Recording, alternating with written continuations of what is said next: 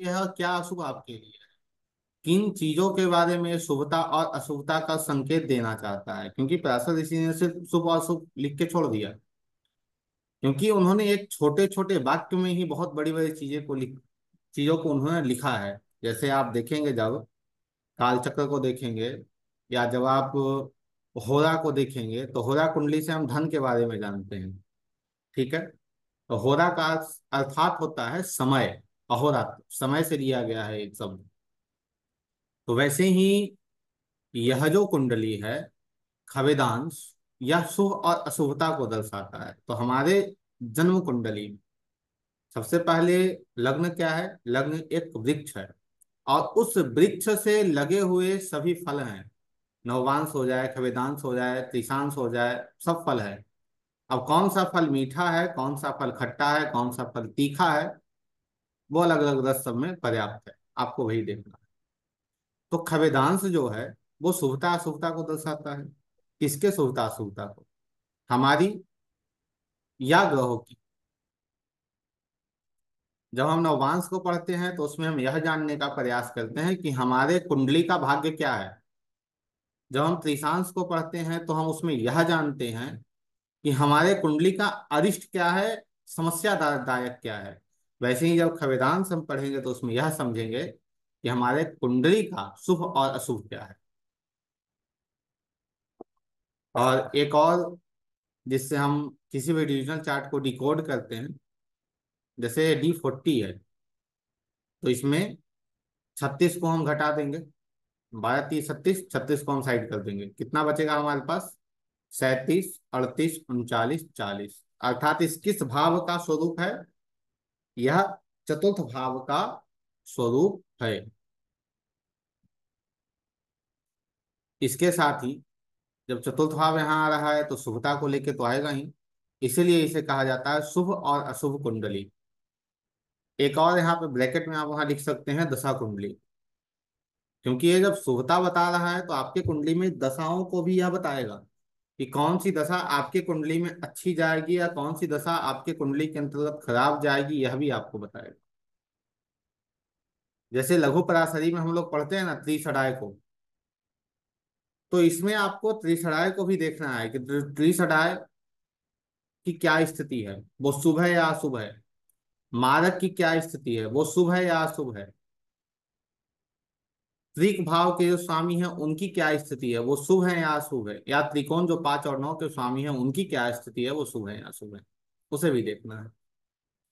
साथ ही, जब इन कुंडलियों पे हमने काम किया तो हमें यह दिखा कि यह हमारे भौतिकता के बारे में भी बताता है। भौतिक चीज़ों के बारे में भी बताता है। किसी व्यक्ति को आपने देखा होगा कि वो गाड़ी लेता है। गाड़ी जैसे ही खरीदता है और गाड़ी खरीदने के बाद वो परेशानी में घिर जाता है, इतनी परेशानियाँ उसके जीवन में आनी प्रारंभ हो जाती है कि वो परेशान हो जाता है, कहता है, भैया, क्या हो गया? लेकिन देख, दूसरा व्यक्ति होता है जो गाड़ी लेता है तो गाड़ी लेने के बाद वो और ऊपर की ओर चलते चला जाता है, वो नीचे आता ही नहीं है। तो वो क्या है, शुभ और अशुभ ही है। तो किसी के लिए गाड़ी खरीदना शुभ है और किसी के लिए गाड़ी खरीदना अशुभ है। किसी के लिए मकान लेना शुभ है तो किसी के लिए मकान लेना अशुभ है। तो यह आपको खवेदांश कुंडली ही बताएगी कि आपके लिए शुभ कार्य कौन से हैं और अशुभ कार्य कौन से हैं। यह कुंडली आपको यह बिल्कुल नहीं बताएगी कि क्या आपको संतान की प्राप्ति होगी, क्या आपका विवाह होगा, वो नहीं बताएगी। लेकिन आपको यह कुंडली यह अवश्य बता सकती है कि क्या आपके कुंडली के अंतर्गत जो संतान की प्राप्ति होगी, वो क्या आपके लिए शुभ है या कि वो आपके लिए शुभ है। यदि शुभ है तो बहुत अच्छी बात है आपके लिए, बहुत ठीक है। यदि वो अशुभ है, उसे भी आप देखेंगे। उसके साथ ही यह आपके प्रत्येक भाव के बारे में बताता है। जैसे, आपका पंचम भाव है तो पंचम भाव संतान को देता है। तो लग्न कुंडली का जो पंचम भाव का स्वामी है, उसे खवेदांश कुंडली में जाकर देखिए, वो क्या स्थिति में है। वहाँ शुभ है या अशुभ है? यदि वो वहाँ जाकर शुभ स्थिति में चला गया है तो फिर उसके साथ देखिए कि जो खवेदांश कुंडली है, उसका जो पंचम भाव का स्वामी है, उसकी क्या स्थिति है? वो शुभ है या अशुभ है? और उसके बाद फिर तीसरा यह देखिए कि इन दोनों के साथ तीसरे में पंचम भाव खवेदांश कुंडली का वो शुभ है या अशुभ है? यदि वो तीन पैमाने में, तीन तरीके से हम चेक करेंगे। सबसे पहले एक चेक करेंगे हम, दूसरा, फिर तीसरा। इन तीनों में से किसी में भी वो हमें अच्छी अवस्था में नहीं मिलता है। तो संतान, ऐसा नहीं हम कह रहे हैं कि अशुभ होगा, लेकिन संतान के जन्म के बाद आपके जीवन में कष्ट आएँगे, ये कंफर्म है। उस कुंडली पे लगाइएगा आपको क्लियर कर देगा। वैसे ही विवाह को लेकर भी, आप हायर एजुकेशन को लेकर, किसी मित्रता को लेकर, छोटे भाई को लेकर, किसी अट्रैक्शन को लेकर, अपने स्वास्थ्य को लेकर, आप इन सबको देखेंगे चलिए खविदांश कुंडली लेते हैं उस पर कुछ चर्चाएँ आगे बढ़ाते हैं।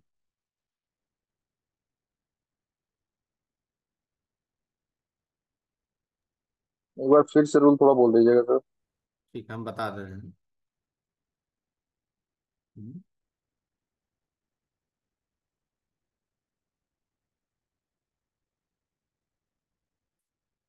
कुंडली दिख रही है आप लोगों को? जी सर।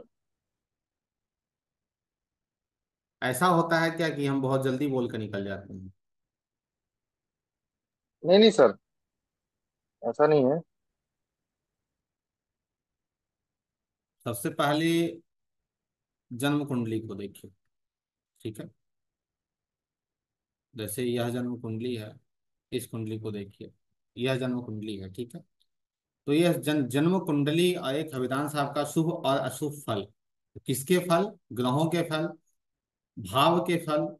और हमारे जीवन में जो प्रत्येक दिन की दिनचर्या है, क्या जीवन में प्रवेश कर रहा है, क्या जीवन में प्रवेश नहीं कर रहा है, उसके फल।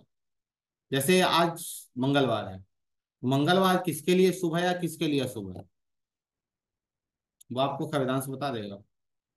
मंगल की स्थिति बता देगी। यदि मंगल कुंडली में अच्छी अवस्था में है तो मंगल आपके लिए शुभ है। जैसे इस व्यक्ति के लिए मंगल शुभ कारक नहीं है अशुभ कारक है।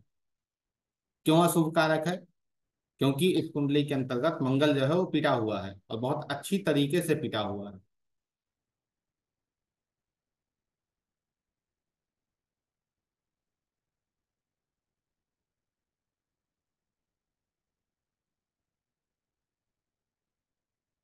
जैसे इसका स्वामी और इसका स्वामी।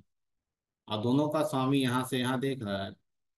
एक अच्छी बात इसलिए यह है, क्योंकि ये दसम भाव के स्वामी से भी संपर्क मंगल का बन रहा है, जो ठीक चीज़ें हैं, लेकिन उतना नहीं, क्योंकि यहाँ पे चार जगह से इनकी पिटाई चल रही है, और एक जगह से जो है वो गुलाब का फूल दिया जा रहा है तो पिटाई तो होगी।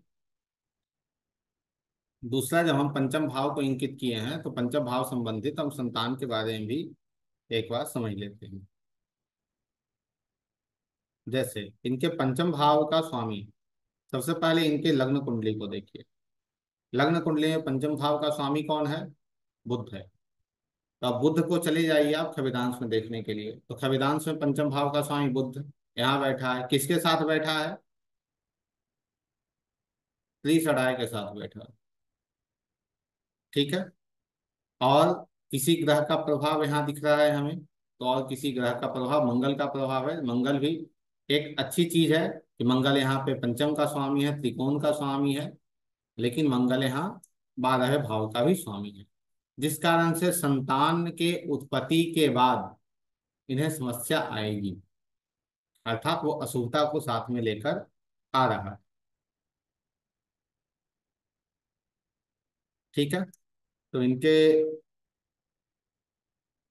संतान, इन्हें संतान की प्राप्ति हुई है।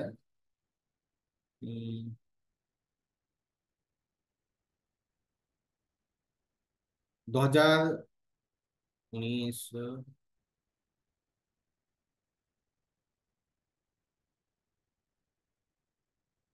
लगभग इक्कीस या एक मिनट, हम बता दें आपको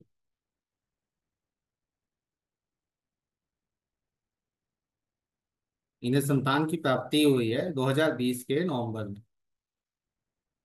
2021 के नवंबर में, क्षमा कीजिएगा। और तब से इनका जो जीवन है, वो बहुत कष्टदायक बीत रहा है। ठीक है? दूसरा।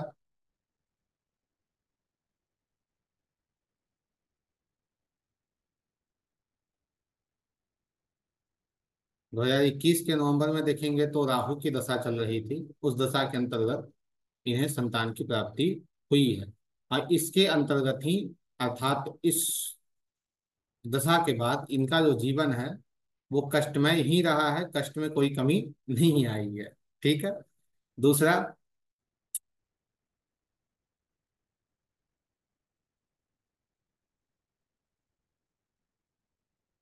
जैसे किसी के बारे में एक तो हमने यहाँ देख लिया कि भाई यहाँ पंचम भाव का स्वामी पिटा हुआ है। लेकिन उसके साथ हम उसे और पुष्टि करने के लिए, उस अच्छे और उसे और अच्छे से जांचने के लिए हम खवेदांश कुंडली के पंचम भाव के स्वामी को देखेंगे। तो खवेदांश कुंडली का पंचम भाव का स्वामी मंगल है। मंगल बारहवें भाव का स्वामी भी है, लेकिन मूल त्रिकोण राशि पंचम में जा रही है, त्रिकोण का स्वामी है। इस पे दृष्टियाँ किसकी गई? तो फिर वही शुक्र की दृष्टि। तो इस कारण से भी ये समस्या दे रहा है इस जातक को। और दूसरा यहाँ शनि की भी दृष्टि जा रही है और शनि यहाँ पे त्रिसराय हो रहे हैं। तो इस कारण भी जातक के जीवन में समस्या आ रही है, अर्थात संतान के प्राप्ति होने के बाद समस्या आई। जैसे यह कुंडली देखिए तो इस कुंडली में हम देखेंगे कि भाई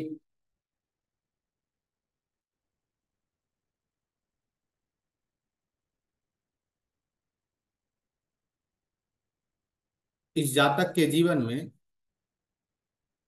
जब इस जातक के पास प्रॉपर्टी आएगी तो क्या कुछ समस्याएँ भी साथ में लेकर आएगी या फिर सिर्फ़ ऐसे ही?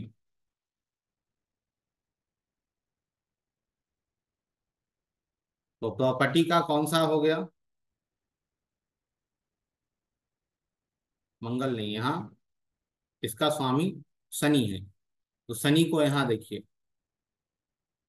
शनि किसके साथ बैठा है? गुरु के साथ, राहु और केतु के साथ।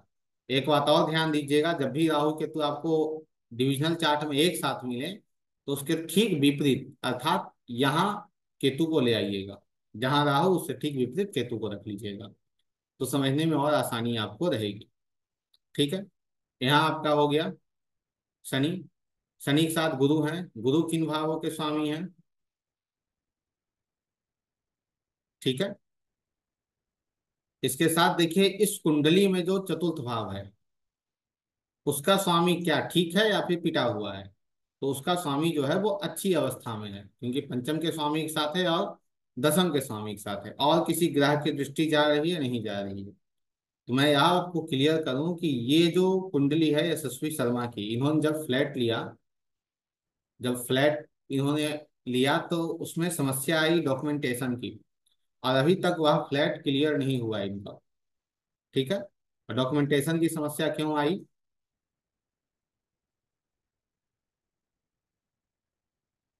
वो फ्लैट अभी तक इनका क्लियर नहीं हुआ है।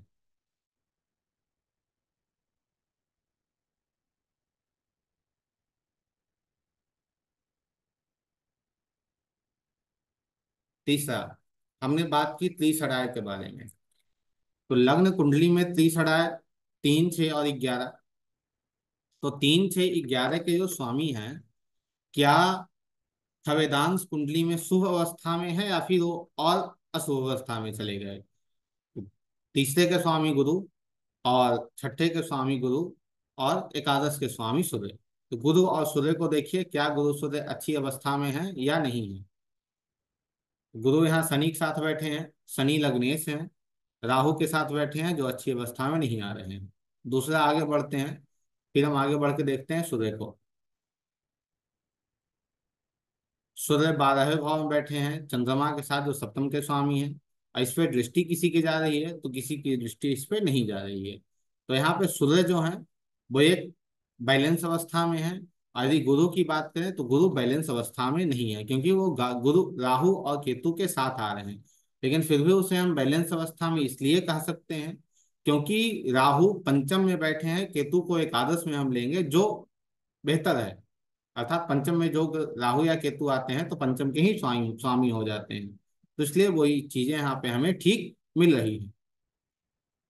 तो इस व्यक्ति के कुंडली में जब भी गुरु की दशा आएगी, सूर्य की दशा आएगी तो वो ज़्यादा प्रॉब्लम नहीं देगा।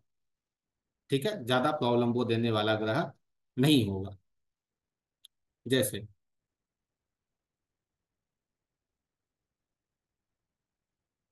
इस कुंडली में देखिए। अब इस कुंडली में अभी की दशा को ले, लेकर चलते हैं। अभी की दशा शनि की चल रही है, ठीक है?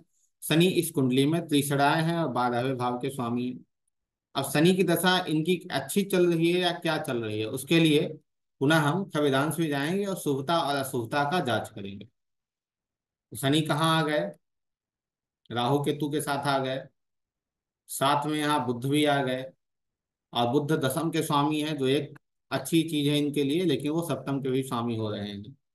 उसके साथ ही और कोई ग्रह का प्रभाव इसके ऊपर है तो और कोई ग्रह का प्रभाव नहीं जा रहा है।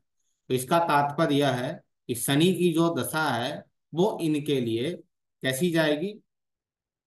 ना ज़्यादा वो बुरी रहेगी, लेकिन वो अच्छी, जो हम कह सकते हैं, वो बेहतर नहीं जा पाएगी, थोड़ी समस्या देगी, लेकिन उतना समस्या वो नहीं देगा, क्योंकि हमें संविधान में बुरी तरीके से पीड़ित शनि नहीं दिख रहे हैं। जैसे यह कुंडली है। इस कुंडली में दशा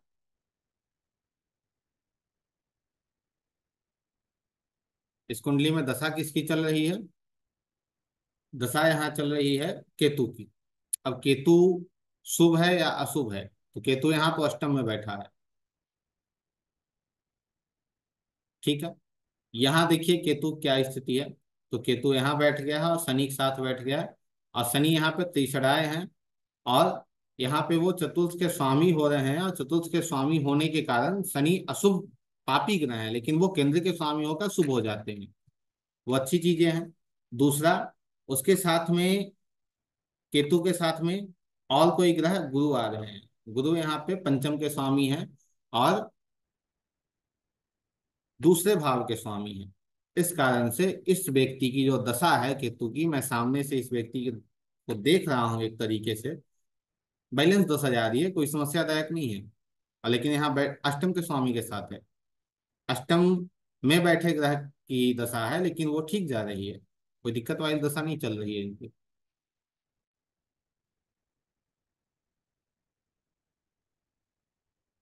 तो रूल इसका यही है त्रिसराय को देखिए, मारक जो ग्रह हैं उन्हें देखिए, त्रिक भाव के स्वामी को देखिए,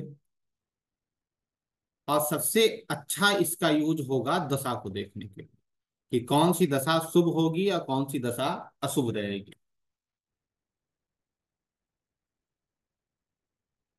जैसे इस कुंडली को देखें तो इस कुंडली को हम देखेंगे संविधांश को। तो कौन सी दशा अच्छी जाएगी और कौन सी दशा अच्छी नहीं जाएगी, वो ये बताएगा। तो दशा कुंडली, इसलिए मैंने कहा इसे आप दशा कुंडली के रूप में भी उपयोग कर सकते हैं। लग्न कुंडली बता रही है, अभी राहु की जो दशा है, वो इनके लिए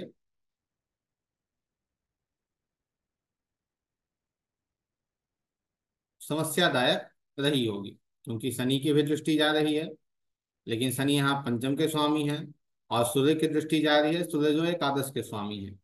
तो ज़्यादा प्रॉब्लमेटिक नहीं होगा, ठीक होगा।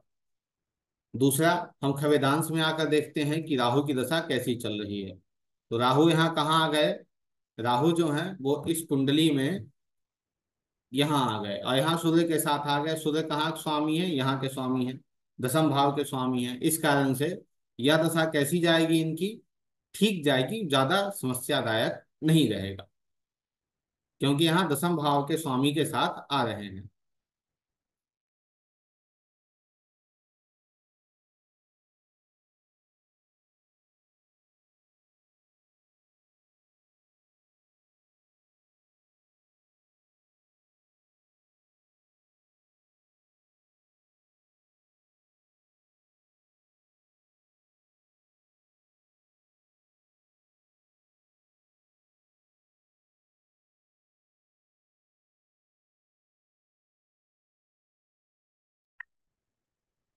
जी।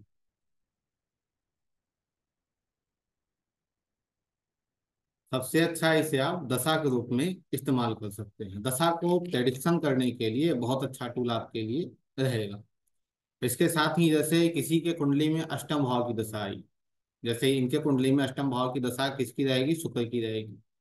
तो क्या शुक्र खवेदांश कुंडली के अंतर्गत शुभ शुभ प्रभाव को दे रहा है या अशुभ प्रभाव को दे रहा है? तो आप यह देखेंगे खवेदांश कुंडली में यहाँ चंद्रमा के साथ शुक्र बैठा है, जो शुभता को प्रदर्शित कर रहा है, ना कि अशुभता को दे रहा है। तो यहाँ आप तो बोलकर निकल जाएँगे, भैया, यह अष्टम भाव की दशा है, आपके लिए अच्छी नहीं रहेगी। लेकिन ये शुभता को देकर चला जाएगा। अब आप कहेंगे, भाई तो गलत फिर कैसे हो जाएगा? ये गलत कैसे हो जाएगा? तो कहीं ना कहीं आपको इंटरलिंक आपको यहाँ से भी मिल जाएगा जन्म लग्न कुंडली से ही मिल जाएगा। किस व्यक्ति को अच्छी चीज़ें प्राप्त हो सकती हैं? अब कैसे आपको इंटरलिंक मिल रहा है तो यहाँ देख लीजिए। चंद्रमा की दृष्टि जा रही है, शनि की दृष्टि जा रही है तो अष्टम के स्वामी हैं, लेकिन इनकी दृष्टियाँ भी जा रही हैं। हम फल को तो देखेंगे ही, लेकिन वृक्ष को भी देखेंगे, क्योंकि वृक्ष भी आपको कहीं ना कहीं से इंटरलिंक आपको कर देगा कि हाँ ये जो चीज़ें हैं, वो गलत हो रही हैं या अच्छी जा रही हैं। क्योंकि बहुत कुंडली पे हमने रिसर्च किया और हमने यही पाया है इन कुंडलियों में कि जब भी हम किसी डिविजनल चार्ट को देखते हैं ना तो उसका, उस डिविजनल चार्ट से संबंधित लग्न कुंडली भी आपको कुछ ना कुछ बता रही होती है।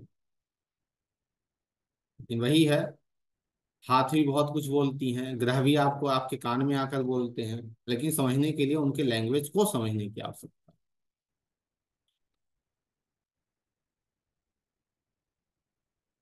जैसे मैं आपको एक चीज़ दिखा रहा हूँ। इनकी कुंडली है। इनके लग्न कुंडली में देखिए दसम भाव का स्वामी कौन है? गुरु है, ठीक है? अब आप यहाँ देखिए, होरा में। दसम भाव के स्वामी के साथ गुरु का संबंध है है। आप जब टोटल जितने भी डिविजनल चार्ट हैं, उन सभी को उठाकर देखेंगे तो आपको पचहत्तर प्रतिशत के कुंडलियों में आपको मिलेगा कि दसम भाव के स्वामी जो गुरु हैं, उनका संबंध डिविजनल चार्ट के दसम भाव के स्वामी के साथ होते हुए मिलेगा। तो लग्न भी बहुत ही इंपॉर्टेंट है। लग्न ऐसा नहीं है कि लग्न बिल्कुल शून्य है, लग्न कुछ नहीं है। हम बार बार बोलते आए हैं कि लग्न क्या है? वृक्ष है। जब लग्न वृक्ष है तो फल कौन देता है? हमें वृक्ष ही देता है। तो उस वृक्ष से कोई समस्या हमें फल में आई है, जैसे कोई फल, किसी फल में कोई समस्या आई है तो सीधा फल का इलाज करते हैं, तने का इलाज करते हैं, या फिर जड़ का इलाज करते हैं और वृक्ष का इलाज करते हैं। आप औषधि किसमें डालते हैं? वृक्ष में डालते हैं। तो बहुत पहले राहुल जी ने हमसे एक प्रश्न पूछा था कि क्या मैं डिविजनल चार्ट से रेमेडी कर सकता हूँ? निश्चित, कोई आपत्ति नहीं है, आप कीजिए। लेकिन आपको लग्न कुंडली से भी रेमेडी करने की आवश्यकता पड़ेगी, क्योंकि ये वृक्ष है। ठीक है? तो खविधांश को ऐसे देखना है और अन्य तरीके से भी आप जाँच कर सकते हैं कैसे? जैसे हम जाते हैं गोचर के अंतर्गत। ठीक है? और गोचर में जाकर हमने देखा।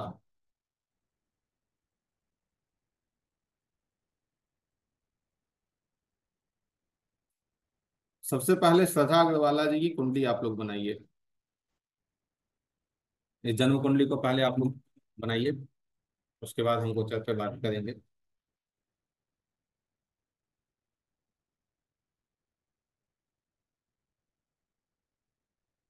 दूसरी एक बात और, इसमें आप यह भी देखेंगे कि कौन सा रत्न आपके लिए अच्छा है और कौन सा रत्न आपके लिए अच्छा नहीं है। रत्न के लिए पहले भी हमने बात की है आप लोगों से अष्टक वर्ग और साथ ही जैमिनी के सूत्र को मिलाकर हम रत्न के बारे में जानते हैं, कौन सा रत्न आप पहन सकते हैं, कौन सा रत्न नहीं पहन सकते हैं।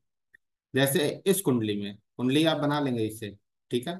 जैसे इस कुंडली में देखिए, हम जैमिनी से देखें तो जैमिनी से अमात्य कारक कौन है? शुक्र है, जो इनके लिए अच्छा है। अमात्य कारक धन के लिए इनका बहुत अच्छा रत्न है वो। तो क्या खविदांश भी बता रहा है कि शुक्र का रत्न इन्हें पहन ये पहन सकते हैं? नहीं पहन सकते हैं। क्यों? क्योंकि ये त्रिसठ आय है। शुक्र का रत्न नहीं पहन सकते। हैं दूसरा, जैसे चंद्रमा है, मातृकारक है तो क्या है चंद्र के रत्न, चंद्रमा के रत्न पहन सकते हैं? तो चंद्रमा कहाँ बैठा है? बारह भाव में बैठा है शुक्र ठीक शुक्र से इंटरलिंक हो रहा है। तो ये चंद्रमा के रत्न अर्थात मोती भी इनके लिए पहनने के लिए बेहतर नहीं होगा। बेहतर कब होगा?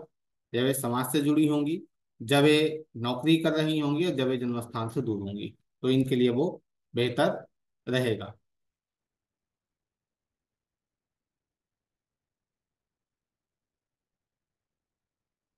जैसे यहाँ गुरु जो है वो इनका आत्मकारक है। मतलब गुरु का रत्न इन्हें पहनना ही पहनना चाहिए।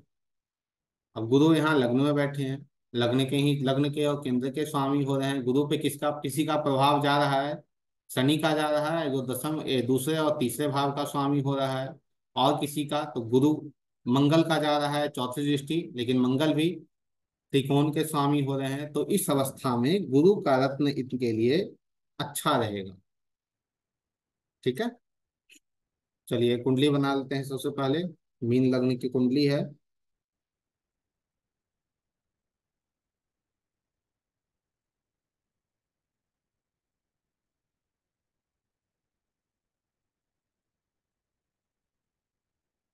कुंडली बना बना लिए आप लोग? जी सर।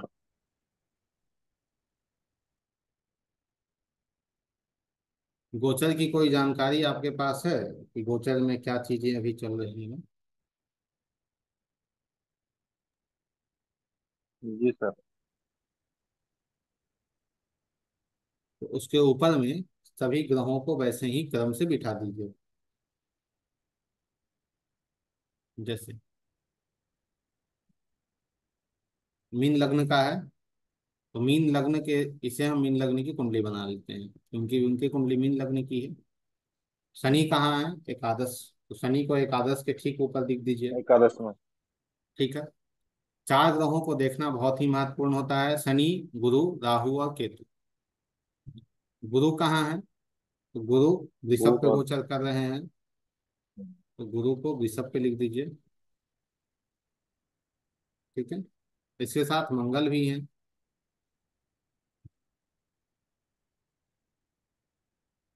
सूर्य चतुर्थ में है। सर गुरु और में कि टॉरस में गुरु टॉरस वृषभ और टॉरस में अंतर होता है क्या? अरे नहीं सॉरी सर सर सॉरी। ये शनि जो शनि सर बोल रहे थे आप कितने में? एकादश में बोल रहे थे ना? हाँ शनि ग्यारहवीं राशि में है। नौ ओके ठीक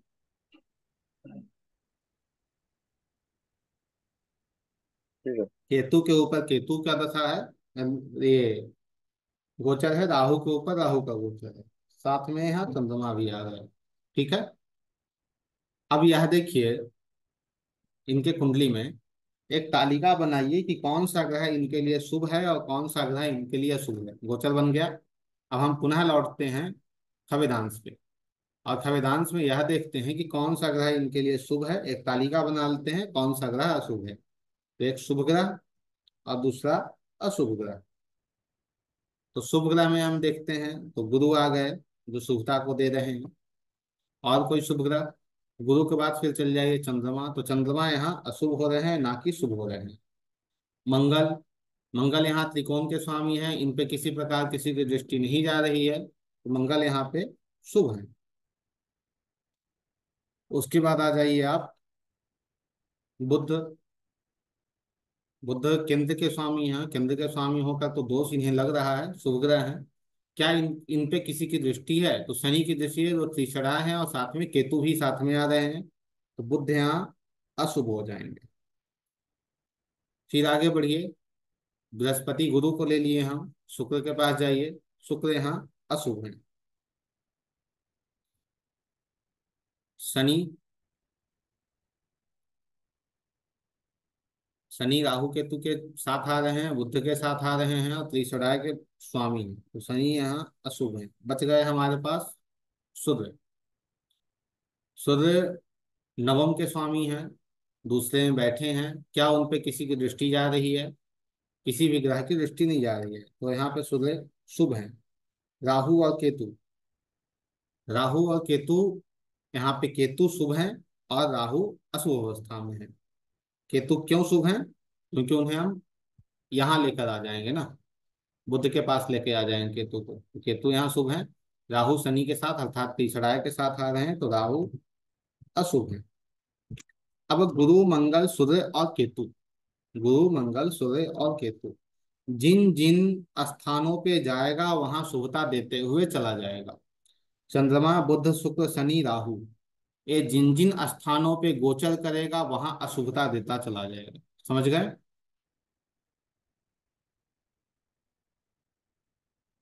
पुनः इनके कुंडली पर लौटते हैं। चंद्रमा कहाँ है? गोचर में। एक सवा दो दिन की बात है। चंद्रमा कहाँ गोचर में है? मंगल के पास है। मंगल क्या है? शुभ ग्रह है। अब मंगल शुभ ग्रह, चंद्रमा शुभ ग्रह तो क्या हो जाएगा यहाँ? बैलेंस बन जाएगा। कुछ नहीं होगा। आगे बढ़िए। बुद्ध बुद्ध गोचर कहाँ कर रहे हैं? छठे पे गोचर कर रहे हैं। छठे में कोई ग्रह नहीं बैठा है, साथ में शुक्र है। तो बुद्ध और शुक्र छठे में जब गोचर कर रहे हैं तो इनके नौकरी में इनके दाम्पत्य जीवन के बारह भाव में जा रहा है और शिक्षा के दूसरे में जा रहा है, ठीक है? तो शिक्षा, दाम्पत्य जीवन और साथ ही नौकरी, इन तीनों में समस्याएँ उपस्थित रहेंगी, अर्थात अशुभता को दे रहा है। जब तक बुद्ध और शुक्र यहाँ रहेंगे तब तक। उसके बाद आप आते हैं सूर्य की ओर। तो सूर्य अच्छी अवस्था में है, पंचम में बैठे हैं। तो आज ही इनसे मुझे जब बात हुई तो मैंने इन्हें सजेस्ट किया है कि भगवान राम का गुणगान अर्थात राम जी के बारे में थोड़ा पढ़िए और राम के बारे में समझने का प्रयास कीजिए। तो कहीं ना कहीं यहाँ सूर्य क्या है यूटिलाइज हो रहे हैं और बेहतर तरीके में आएँगे। क्योंकि शुभ शुभ ग्रह है और वो ठीक अपनी राशि में जाने वाले हैं इससे भी ऐसा हुआ क्योंकि डे टू डे रूटीन में आ रहे हैं। आगे बढ़िए, केतु। तो केतु कहाँ? सप्तम में बैठे हैं। और केतु की ही केतु का ही गोचर केतु के ऊपर है। तो इनके लिए अच्छे संकेत को देने वाला है। उसके साथ चले आइए राहु। राहु इनका कहाँ है? गुरु के ऊपर गोचर कर रहा है और गुरु अच्छे हैं और राहु है। तो यहाँ बैलेंस तो बनाएगा लेकिन राहु है ना। गंदगी नेगेटिव चीज़ें हमारे पास बहुत जल्दी आ जाती हैं लेकिन पॉजिटिव चीज़ों को हम तक पहुँचने में समय लगता है। तो इसलिए यहाँ थोड़ा समस्या रा, राहु करेगा।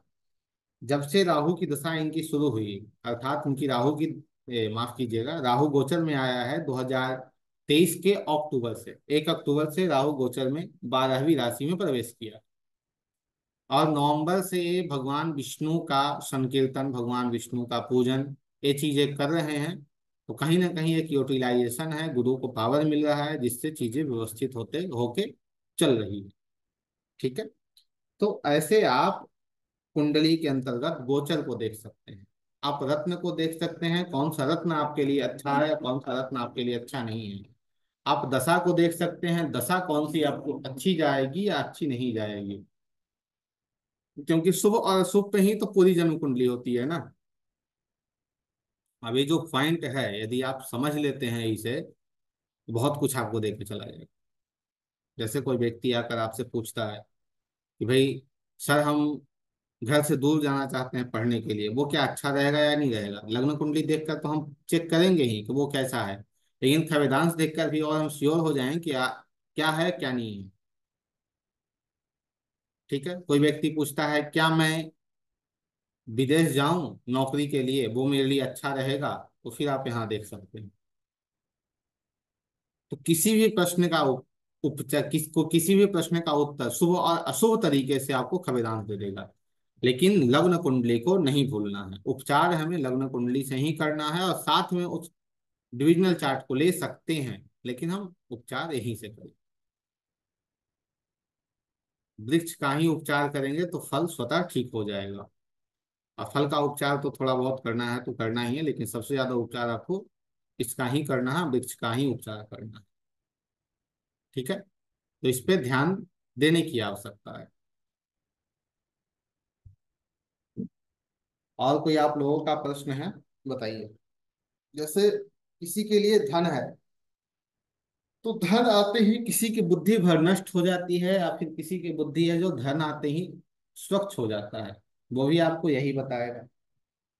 कौन सा कार्य आपके लिए अच्छा है, कौन सा कार्य आपके लिए अच्छा नहीं है, ये भी आपको यही कुंडली बताएगी। जैसे आपकी कुंडली में प्रथम भाव का स्वामी। प्रथम भाव मस्तिष्क है। आप स्वयं हैं।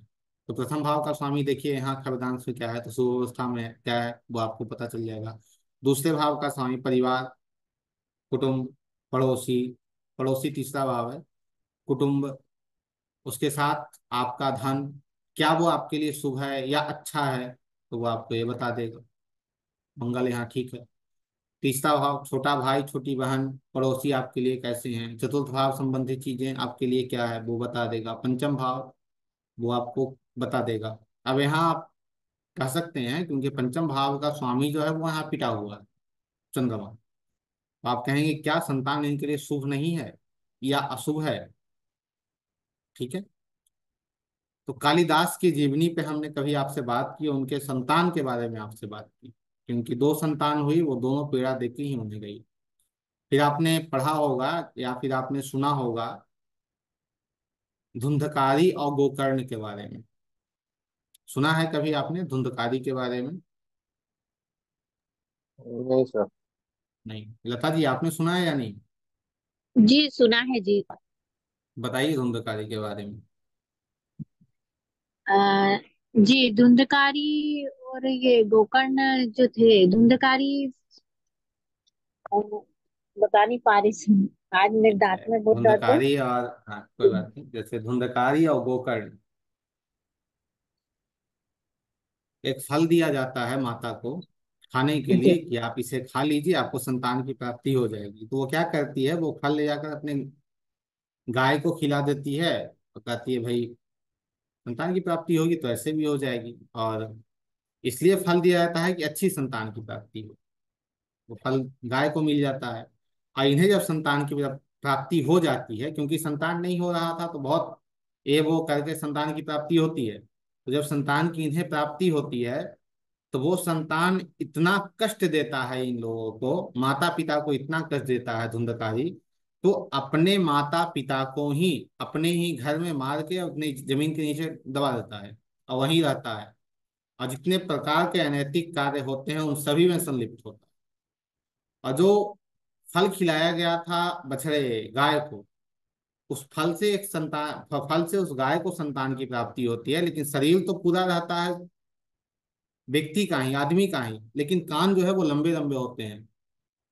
इसलिए गोकर्ण, गाय के कान, गोकर्ण कहा गया, उनका नाम पड़ा। और वही फिर भागवत महापुराण की कथा करते हैं। श्रीमद् भागवत की कथा करते हैं, जिससे धुंधकारी को भी मुक्ति मिलती है। क्योंकि धुंधकारी भी गलत कार्य करते करते मर जाता है, धुंधकारी के माता पिता की भी मुक्ति मिलती है। और इसलिए उस वक्त से ही जो व्यक्ति श्रीमद् भागवत महापुराण को सुनता है या पढ़ता है, या जहाँ पढ़ा जाता है, वहाँ नकारात्मक चीज़ें पर उपस्थित नहीं रहती। भूत, प्रेत पिचास वहाँ नहीं रहते। तो इसलिए संतान की प्राप्ति जब नहीं हो रही है उस पर ज़्यादा ध्यान मत दीजिए, एक बार सोचिए, निकाल दीजिए। अब मैं क्यों कह रहा हूँ? क्योंकि इनकी कुंडली में मैंने आज बहुत काम किया है। ठीक है? तो जो आप यहाँ देखेंगे तो यहाँ आपको केतु दिख जाएगा। ठीक है?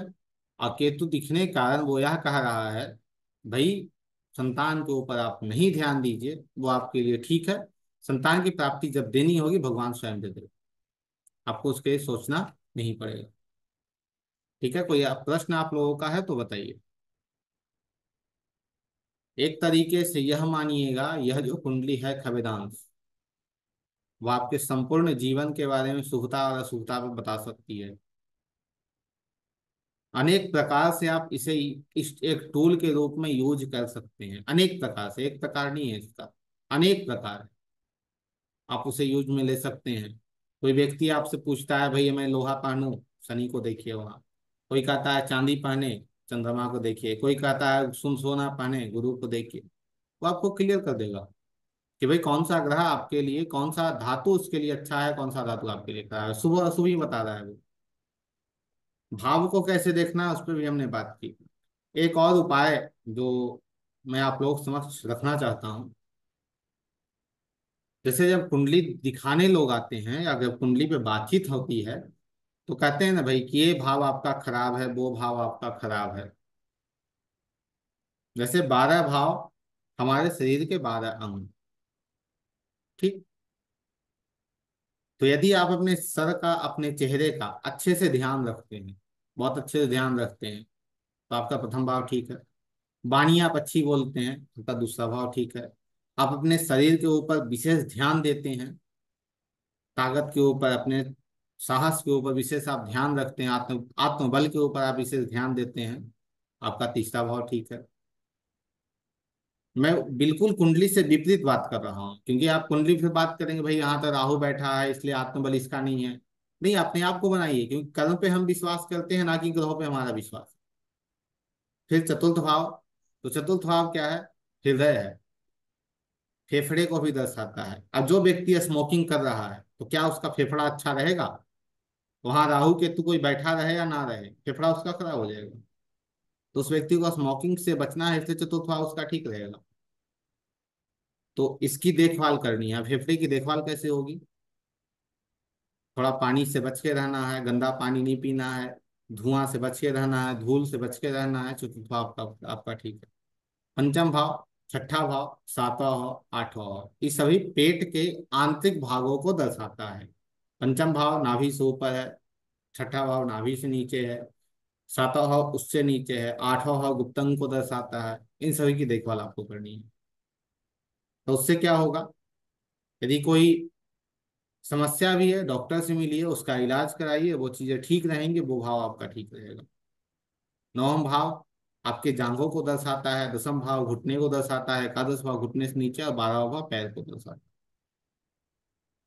अधिकांश आप देखते होंगे लोगों का जो पैर है वो फटा होता है। बहुत अलग तरीके से फट गया है, खराब हो गया है, उस पर उनका कोई ध्यान नहीं है।